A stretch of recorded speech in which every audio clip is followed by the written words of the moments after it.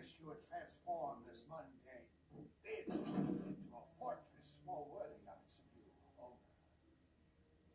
Remember our